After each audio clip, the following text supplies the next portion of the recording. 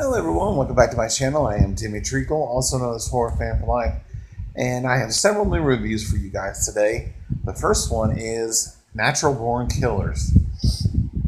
This movie was released on August 26, 1994. It is a dark crime comedy film that received mixed to positive reviews with critics.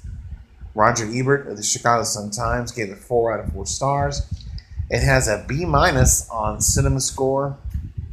It has a 7.3 out of 10 on IMDb, a 47% on Rotten Tomatoes, and 86% on Google.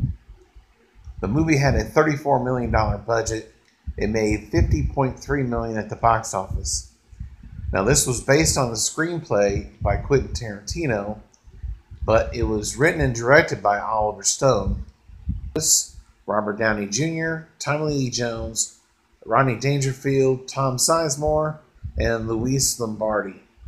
And the movie is about uh, Mickey Knox and Mallory Knox, who are a married couple. They go around on a killing spree. Uh, it shows flashbacks um, of family life too. Uh, Mallory grew up in a house with an abusive father. Uh, of course, you have Mickey, you know, same thing, um, abusive parents, you know. So they go on a killing spree. Eventually, they get caught. They're in prison. And then from there, all hell breaks loose. Um, I love Robert Downey Jr.'s character in this movie. Uh, he's a TV reporter who is reporting and doing interviews uh, with this couple, most notably uh, Mickey. But um, this movie, this feels like a Quentin Tarantino film. now, I said this is based on a screenplay by Quentin Tarantino.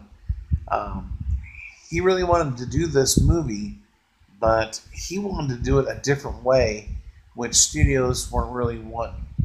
So they brought in uh, Oliver Stone. He tweaked the screenplay and directed it himself, and this is what we got. Uh, I remember there was a lot of controversy around this movie when it first came out because of all the blood and the violence and everything. But this is a very good movie. I really enjoyed this one.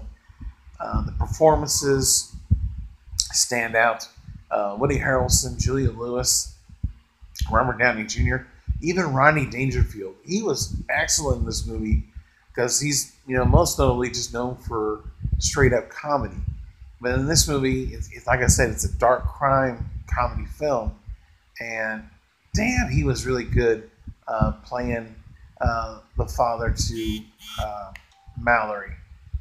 Uh, but yeah, this was a fun movie, uh, about two hours long, not too bad, and uh, I love the ending. The ending was great, although you feel for the certain character, or at least one of them towards the final act of this movie, but uh, you knew it was going to happen eventually. Just a matter of time. Uh, this is a great movie. I really enjoyed it. Um, I did have, you know, some issues with it. Um, I wanted to see more um, of their spree, uh, but we didn't necessarily need to see all the blood and uh, and all these things, but um, I wanted to see more just of the, the, the, violent part and not so much all the killings. Uh, some of the stuff was kind of over over the top a little bit, or I say excessive. But other than that, this was a fine movie. Um, finally, glad I decided to watch this movie. It's been on my list for a long time, and uh, yeah, I really enjoyed it. So I'm to give Natural Born Killers an 8 out of 10 and two thumbs up. So if you're like me, you haven't seen the movie, definitely check it out. In the comment section below, if you've seen it, give me your thoughts and opinions. And as always, if you're new to the channel, subscribe today for more content. If you like this, hit the like button.